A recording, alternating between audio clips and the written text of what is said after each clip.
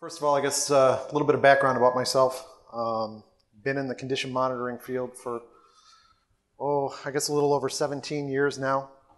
Um, probably, the, probably the last six and a half years with Allied Reliability. Um, for the last two year, two and a half years, I was I've been the director of, uh, excuse me, the director of mechanical services for Allied. So like I said, in my condition monitoring, I guess, background, you know, I've had an opportunity to play with just about all the technologies. And uh, what we're going to kind of talk about today is the human side. Because what we'll find is that uh, different industries, different facilities have put in place, there are a lot of common factors. So this afternoon, I guess for the next 45 minutes or so, we're going to talk about those common factors, pitfalls, I guess, for uh, applied condition monitoring programs and kind of centered around the human factor. Uh, personal competency, personnel turnover, that's, uh, that's, that continues to be a big issue. The part-time predictive maintenance technician, we're going to spend some time on that. Then we're going to we're going to look at, uh, I guess, an inappropriate response to uh, identified defects. So basically how are we reacting to the information that our condition monitoring technologies are providing. And then finally, the, the last piece is centered around program design, application, and what are, what are the appropriate uh, coverage levels. I guess first of all, uh, personnel competency.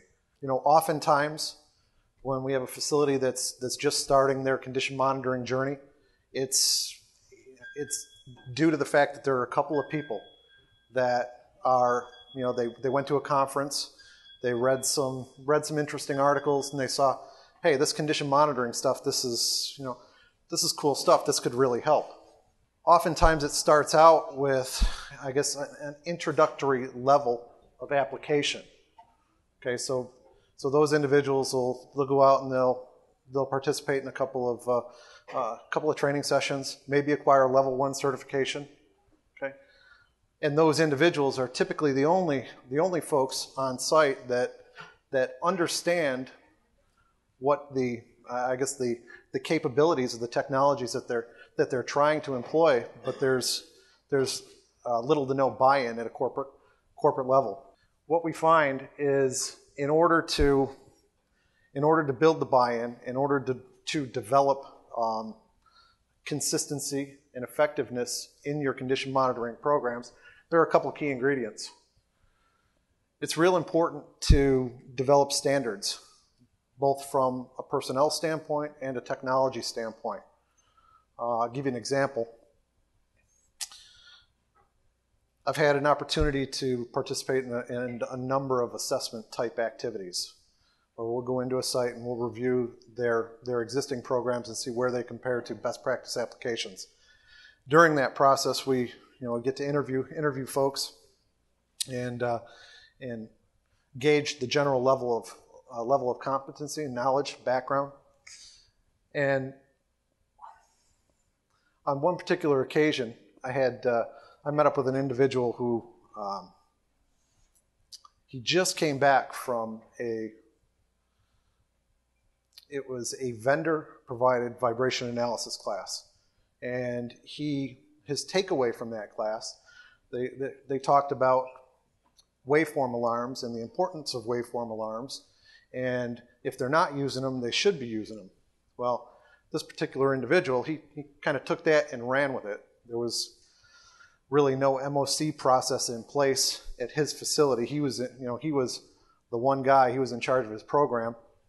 And so he, he comes back from that session and he eliminates the alarms that were in place, and he put in place what he, what he thought was an additional waveform peak to peak alarm. In essence, what he did is he created overall alarms. So he didn't add to the existing, the existing alarm uh, alarm platform that they have, had in place in the uh, in the tools, but he removed it and added an incorrect alarm, and then you know, it was probably two, three months down the road, he's starting to see some, starting to see some failures. And he couldn't figure out why. And the reason why is, is he basically he uh, he adversely affected the the technology setup based on you know based on a one-off training class. That's why it's real real important that that we put in place standards that that ensure that the folks that have the capability to uh, to perform program design changes, if you will, they have the appropriate knowledge and background and experience. So we need to develop standards, let's say for a vibration analyst as an example. Um, when we get to a lead analyst, lead analyst type application, that individual maybe should be a minimum level two analyst before he can make any, any database changes. Okay? Um, we also want to have the same thing with technology standards. In other words, from soup to nuts, you know, how are we going to apply our program? Right? And we want to make sure that there's a good valid MOC process in place that gets vetted with appropriate uh, through appropriate knowledgeable personnel before we can make any changes. We want to make sure that those individuals who are associated with our condition monitoring programs, they, they have a good personal development plan. Okay? We look for education, we look for certification, we look for experience. Those all need to be spelled out within, within the standards document that we put in place. And then finally, we need to focus on really what, what's the best practice uh, program implementation. What does that look like? oftentimes what we see is it's someone's someone's gut feel. You know, I I really like this technology. I heard from this vendor that that this technology is, you know, it's gonna it's gonna cover all the necessary failure modes, right? Well, that you know that may or may not be reality. So what we need to do is we need to identify what you know what does a best practice implementation look like, and we need to create the appropriate process and procedures to develop that. This is just an example of uh, an OP2 standard. Again, OP2 standard for technology, it should spell out from soup to nuts, how do I develop my database? Okay. What are my collection parameters? What are my alarm parameters based on certain, certain equipment types? Just every aspect of that applied technology should be developed, and there should be a process and procedure in place that our folks need to follow. That takes the ambiguity out of, out of the, the the program implementation. Okay? That, that ensures that as long as we have individuals who are certified, qualified, and trained, as long as they have the appropriate level of experience and knowledge, they can perform that task consistently and effectively. And that's, that's going to generate positive results. One of the other issues that we, that we run into with, uh, with new program development, or actually you know, that's probably not true in, in all existing programs. What happens is we, you know, we start bringing those folks up to speed. They become competent in their applied condition monitoring technologies, okay? and they become a valuable, valuable commodity. How many folks, you know, have uh, condition monitoring programs in place where, where they have individuals working for them that are uh, that that have received external job offers? It's it's pretty common. The you know, there's not a lot of folks out there that, that have the background that we look for for condition monitoring activities. So they're, they're a sought after commodity. You know, Allied Reliability hires uh, you know, quite a few individuals on an annual basis for, and we're looking for, you know, we're looking for the uh, uh, experience, background, formal certifications. What we found though is we're subject to the same the same circumstances. Our individuals who we bring on board, we train, okay, we we bring them up to speed in, in the allied philosophies of the way we way we incorporate our condition monitoring activities. They're valuable folks. If we found that if we don't if we don't create an environment where that fosters continuous improvement, provides them with additional training and additional opportunities we're going to lose those folks. So I guess the key takeaway here is it's it's important to ensure one that we're getting quality individuals. It's two to recognize that they're valuable individuals, and three to put in place a, a continuous improvement plan to help retain those individuals. We found that if they're happy, if they're chal- if they're challenged, they're generally happy, and they're going to stay.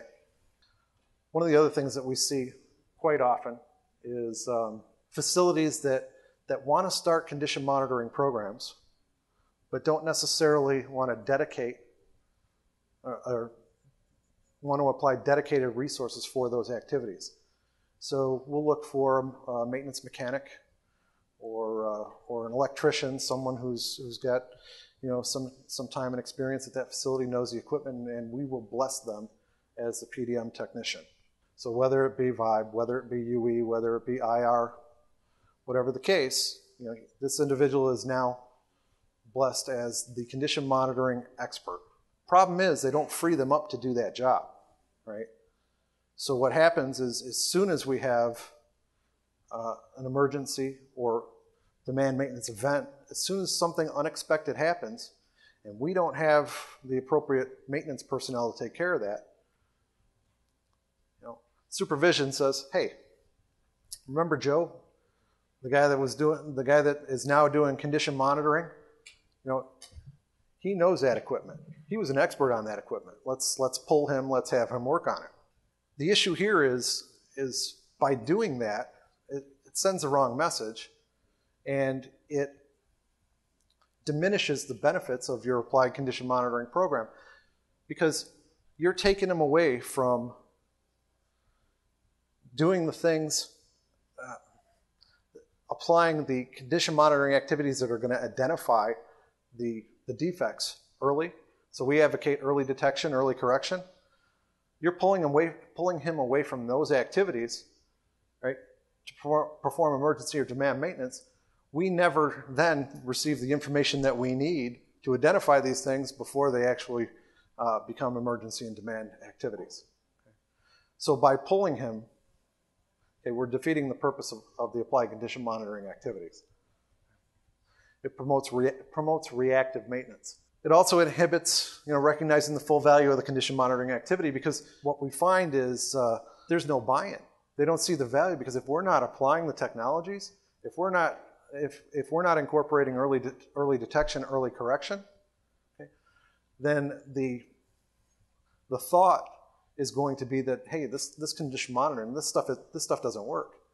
Well, it's not that this stuff doesn't work, it's, it's that we're not allowing the activities to take place to demonstrate that it will work. We're not reacting appropriately. And then finally, the last, the last piece, once we identify or once we apply solid condition monitoring activities, we become proactive. We see a reduction in emergency or demand maintenance, we see less downtime, right? We have all these resources that were previously identified and dedicated to preventive maintenance activity, emergency demand maintenance. If we shift the focus from those activities to predictive condition monitoring activities, we actually free up those resources that we can then assign to other maintenance and reliability initiatives, whether it be, you know, we need another planner, whether it be we need, uh, we need someone doing root cause analysis, we need, you know, we need someone focused on, focused on scheduling. Whatever the case may be, there's, there's a whole host of, of activities that, that are included within your maintenance and reliability initiatives by applying condition monitoring activities in place of preventive maintenance strategies you realize you realize additional resources that you can apply to those activities. How many people in the room have, uh, I guess, uh, perform condition monitoring activities, provide recommendations? Have you ever seen any of these comments? When you identify an issue and you write up a condition entry, you, you communicate that issue to the powers that be at your facility, have you seen any of these responses? How long will it last? I want to get the most runtime possible out of the equipment before I will take action. I want to work on it just before it fails. Then you, you go to the next step and you explain it's already failed. We've identified a defect. That's, that's, that piece of equipment has functionally failed. You make that statement. They understand it, but they still want, they still want to get the most runtime out of it, so they want you to monitor it more frequently. Then the final bullet won't the technologies predict time to failure. I'll tell you what, if I, if I could predict with some level of accuracy the, the time of final de- demise, the time at which your equipment blows up, okay, I don't think I'd be doing what I'm doing. I'd be in Las Vegas. And I'd be, I'd be a lot better off financially. Because in truth, we can't predict that, right? We can, we can identify when there are issues. We can assess severity. But the actual time of demise, that's not a valid expectation. And what we find is, you know, the facilities that that have the, these types of response responses to issues, I guess inappropriate responses to issues, they're immature. Okay, they're they're very uh, early on in their in their proactive maintenance initiatives. Okay, and they're not going to realize the most benefit out of their applied condition monitoring activities. How many people have seen this graphic before? It's nothing new. It's a, uh, it's a PF curve. What this, what this graph represents is the point at which a defect is identified. The takeaway from this is early on the curve, that's where your condition monitoring, predictive maintenance activities are going to be able to identify the warning signs of a defect. As we progress down that failure curve, that's when we get into the preventive maintenance realm. That's where something is, you know, it's, it's noisy, it's, it's hot to the touch. Okay, there's, there's measurable, measurable looseness. That's much further down the failure progression curve. Then finally, if we take it all the way down to the end, that's a run to failure maintenance strategy. That's the point at which that piece of equipment finally stops. The thing to note here is the cost to repair, right? The cost to repair is up to 10 times standard, standard maintenance costs, and that does not include downtime if we, if we run a machine to failure. I like to talk about a little, little example to prove my point with regard to inappropriate response to condition entries. Let's look at vibration analysis as the, as the, uh, as the technology for detection. As an analyst, I go in, I take a set of readings, I perform my analysis, and I see evidence of misalignment, right? My recommendation may be, you know, noted increased two-time running speed component. This is an indication of misalignment. Check the coupling for condition and alignment and correct as necessary, right? If we're a mature organization, once I give them that recommendation, the response isn't going to be how long will it last. The response will be, okay, great, we'll get it, we'll get it planned, we'll get it scheduled, we'll get it done if they do that work, when they receive that, that initial condition entry, we're looking at what? Maybe two hours worth of work?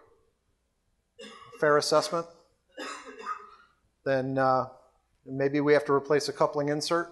On the flip side, if, if the response is no, we're not going to work on that now, how long will it last, if you will? We're going to get the most runtime. Maybe the next time I come back and take a set of readings, now I see bearing defect frequencies. Okay, well, the challenge there is they're not going to heal. Okay, so now the, the maintenance is going to include replacing the bearings. Okay, oh, yeah, and by the way, once you have it apart, once you're doing the maintenance activity, check the alignment. And we can, we can take that all the way down to a catastrophic failure, but again, it illustrates the, you know, the, the scenario that as we progress down that failure curve, our maintenance costs increase. Okay? And then the other, the other thing you lose as you progress down that failure curve is the ability to identify the root cause of the actual failure. In this case, in the example that, that I started, misalignment was the root cause. Okay, if we reacted appropriately, we knew that. We can focus then the appropriate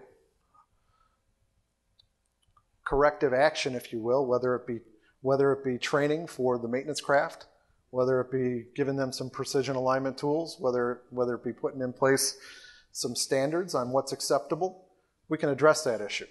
One of the other things we see very frequently is, I guess, uh, issues with regard to technology applications and what's right from a coverage level standpoint. And if we look at this from the human factor, from the human standpoint, a lot of times especially with uh, initial program design, okay, that's done by gut feel. Again, I, I heard this technology is good. This is what I this is what I am going to deploy. Okay. Again, it may be right. You know, there Some technologies address more failure modes than others, okay? But it shouldn't be based on a gut feel. What we need to do is we need to design that and what, design that based on the failure modes inherent in the components and parts that make up the asset base, asset that we're monitoring, and we're going to touch on that a little bit later. Real quick, I wanted to talk about Along with that, we need to identify what the appropriate maintenance strategy is. Not sure how many of you may have seen this graphic. I guess around 1996, 1997, John Schultz, uh, he's one of the founders of Allied. He worked for Eli Lilly at the time. Eli Lilly says, okay, we want to expand our condition monitoring program. But the question arose, what technology and how much? So what any, what any small you know, pharmaceutical facility would do uh, when money was you know, was not an issue. They commissioned a, a benchmark study. So what they did is uh, they they collected data from it was no fewer than five companies, 20 different facilities, so 100 different uh, 100 data points for multiple industry verticals. Then they hired a couple statisticians and they crunched the numbers. Right? What we found when we crunched the numbers is that that they can draw some very valid conclusions. Up here in the right-hand corner, is correlation coefficient. The closer to one is closer to one you get is better. Anything above, I, I believe it's 0.8, is uh, means it's st- statistically relevant, and two items are directly associated with one another. What they found when they crunched these numbers is this is an example of vibration analysis.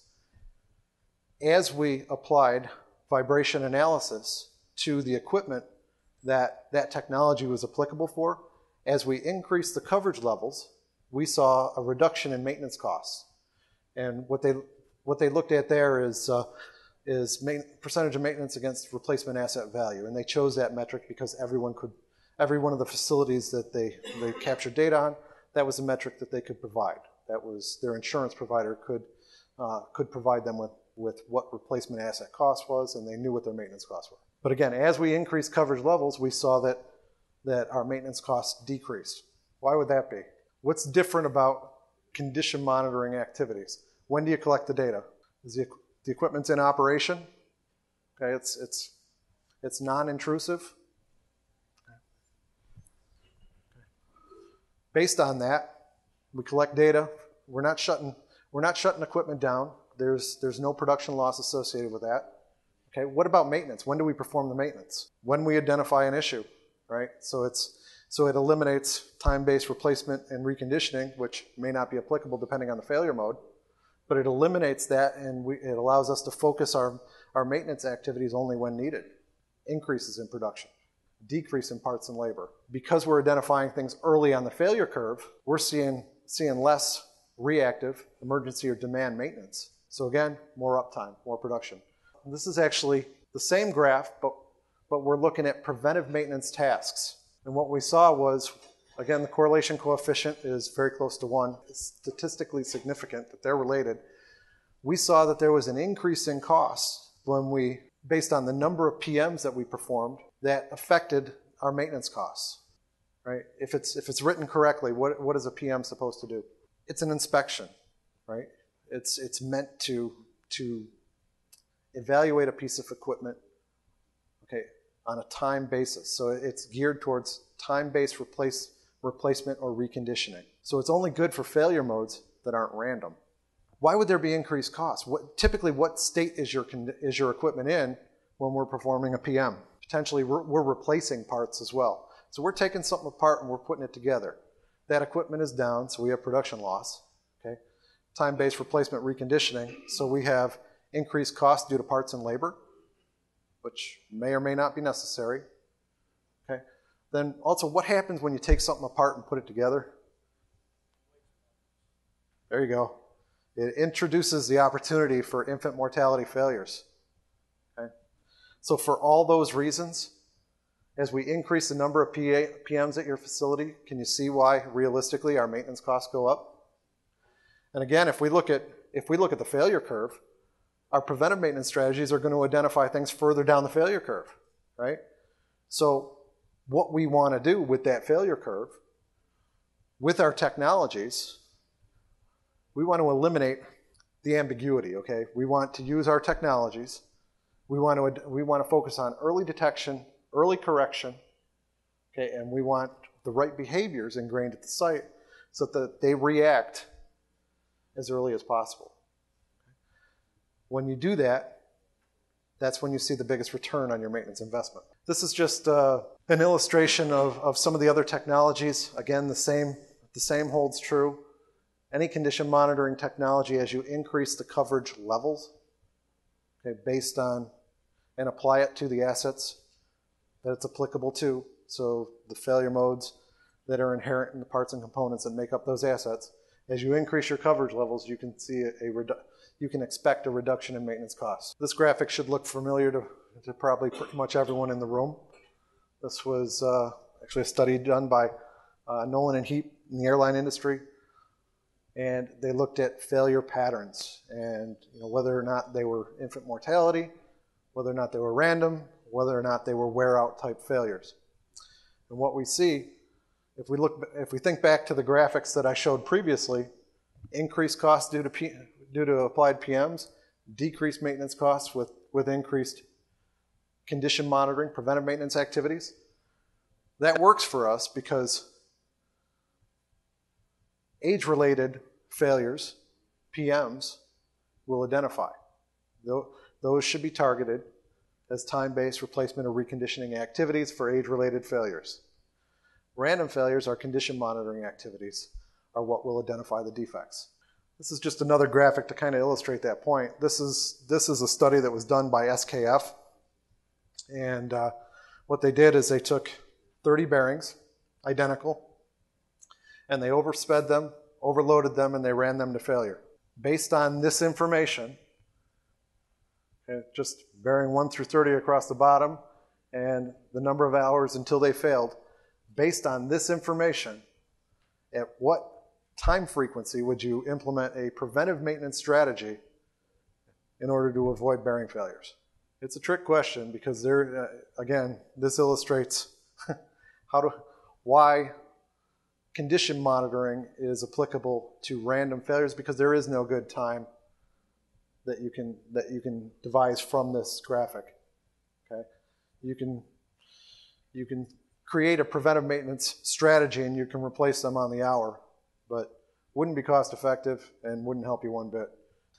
Again, we want to take the ambiguity away from program design. So the human factor, what, what technology and how much. Okay? One of the ways that we do that is through failure mode analysis. There's a lot of tools that you can use for that. Uh, RCM activities, failure modes and effects analysis, um, we, we have some tools within Allied that have failure mode mapping capability, and what that does is it looks at, again, the failure modes inherent in the components and parts that make up your asset. And literally, it's a check in the box. Which condition monitoring technology is applicable to identifying those, identifying those failure modes? Now, with this information, we generate what we call an EMP, Equipment Maintenance Plan. So it's, it's basically a, a playbook for each piece of equipment based on the failure mode information. And it says, okay, these technologies are applicable. Now, we decide what to apply based on a criticality that's, that's been performed at the site. So on our critical equipment, we, you know, we assign multiple technologies. You know, some of these technologies overlap. We, we might apply vibration analysis UE, okay, motor circuit testing IR to our, to our top critical equipment. And as we as we progress down the, the criticality ranking, okay, then we eliminate some of the technologies. Maybe we only focus one. Or if the criticality value is low enough, we employ a run to failure maintenance strategy. But it is a it is a designed decision, takes the ambiguity out. And the other thing the EMP allows us to do is everywhere where there is a condition monitoring activity that's been identified and applied, great. As long as it, co- as long as it covers, those, covers all the failure modes, we can, t- we can remove those preventive maintenance activities okay, and identify resources that we can apply in our other maintenance and reliability initiatives. Where we don't have technologies applied, that's where we have to write a preventive maintenance strategy so that we can cover those failure modes. We'll kind of cover this real quick. Again, the, the question is how much based on that based on that benchmark study that I that I discussed earlier, we've we've come up with some percentages that um, that we would label as best practice application levels. Okay, so in other words, if you remember the the co- correlation coefficients and and and the cost benefit, we have a reduction in cost as we increase the coverage levels. But we get to a point where where there's a roll off and we don't see a further further reduction. For vibration analysis uh, in the chemical industry, that's around 88%, okay, just as an example. So that 88% then would be a first quartile or best practice number. 100% theoretical is you give me an asset list with 5,000 assets, okay? I run it through our failure mode mapping and I say, okay, of those 5,000 assets, 3,400 of them Vibe is applicable for, okay? Best practice is 2,720 of those 5,000 assets, let's say. And then we take that percentage and we just break it up in quarters from there. And the reason we do this is, you know, it's kind of like that old adage, how do you eat an elephant? One bite at a time. The goal is to apply, is to continue to increase your coverage levels for the individual technologies, okay, and increase the applied technology. So the goal is to continue to apply condition monitoring activities, right? But if we went first quartile with Vibe, first quartile with UE, uh, you know, maybe third quartile with motor current testing, the issue that we, that we may be faced with is the fact that all these condition entries, the facility receives this information, but their work management system isn't mature enough. Okay, they're, you know, they're not proactive enough to handle those, handle those uh, condition entries.